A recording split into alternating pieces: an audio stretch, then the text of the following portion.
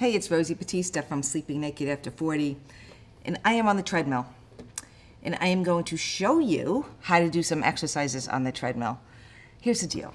It, it, this is boring, this treadmill. It really is boring. So I'm gonna just show you a few different things that you could do to make it not so boring. And honestly, if you could get outside and walk, it's that much better because you have the hills and you have the birds and you have the trees and it's much nicer. But if it's winter and you're stuck inside and you have a treadmill, you know what? There's a couple things you could do to make it short and sweet and like effective and then get off and be done. You do not have to spend hours on the treadmill to get a beautiful, lean, healthy body.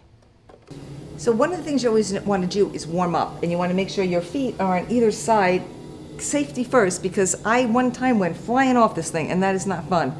So your, your feet are on the sides and you start slow. I only have it going really slowly before I get on here. Then I'm gonna do a warm up. Always a five minute warm up. You want your posture, you wanna be breathing in through your nose, out through your mouth like you're doing a nice, beautiful walk, but shoulders back, chest lifted, breathing, nice. So I'm just gonna do a little bit of a warm up and then I'm gonna show you how you can either increase the intensity on here or increase the time. So me, I'd rather increase the intensity and get the heck out of here, right?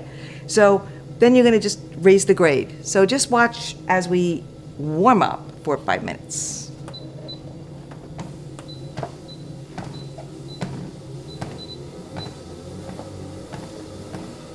One of the things too, you don't want to pound your feet and sound like a cow, right? So just soft, gentle steps on the treadmill.